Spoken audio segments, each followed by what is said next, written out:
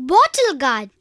The bottle gourd is a huge vegetable which is light green in color. It has a thin skin. Its flesh is very juicy.